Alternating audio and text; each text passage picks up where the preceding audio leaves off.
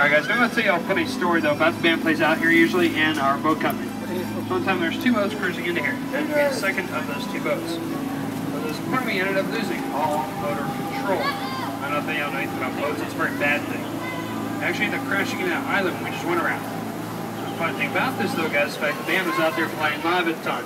They saw this happen, cut out the music they were playing at that time and played them the Titanic song instead. That was pretty funny myself.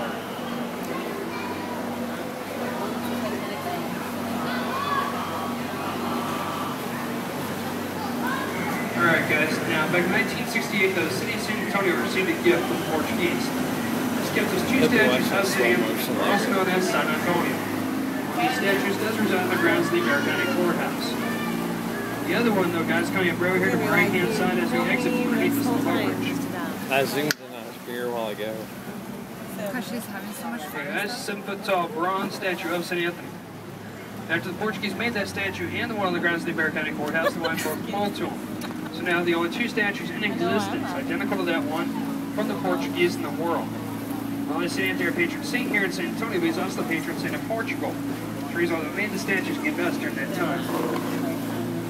The way we got our name though here in the city, as fact on June 13, 1691, we'll hold a Spanish Catholic Mass on the natural portion of the memory. river. Since June 13, 1691 happens to be the feast day of St. Anthony, one had named the river San Antonio. Shortly thereafter, set it up with the exact same name.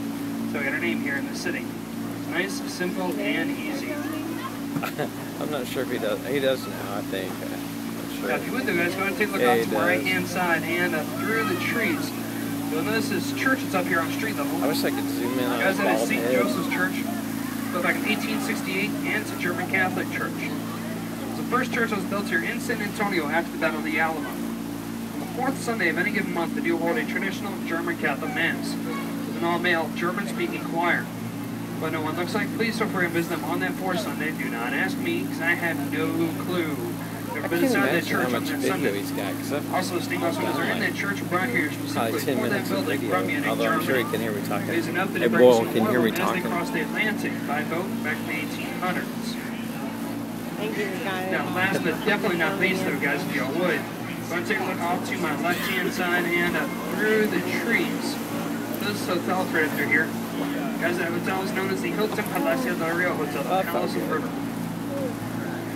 Now, Mr. Hilton asked that hotel be completed in 10 months or less, about 500 rooms in. It's a pretty big challenge trying to fulfill. Only one company actually accepted Mr. Hilton on this bit of a challenge. That was HB Zachry Company. Is enough though, guys. HB Zachry Company, from the day they broke ground to the day they opened up their doors, only took a grand total of 202 working days to build this hotel. And gentlemen, grand total about eight months. The way they were able to accomplish this, they built the first four floors and the elevator shaft here on site. At the exact same time, the rest of the floors are completed eight miles south of us in the similar line fashion. After each was completed eight miles south of us, on far left here on trucks, completely furnished. All the way down to the beds being made, the towels on the racks, and the pictures on the walls. I couldn't get you. assemble them just like Legos by stacking them on top of the other. And still, to this day, the world's tallest and fastest modular built building. But, ladies and gentlemen, that does conclude my tour, though, for this evening. Hope you enjoyed yourselves. I know I have. A couple things before I get docked. One, please remain seated until I say the safety of the exit. I really don't want any accidents to happen. Two, there are some coupons back y'all's ticket stubs. Please don't forget to use them at their designated locations. And three, for a job well done at Drive Servio San Antonio Cruises, we appreciate y'all's tips. Hope you have a wonderful day, guys, and please, safe journey home. Here we come.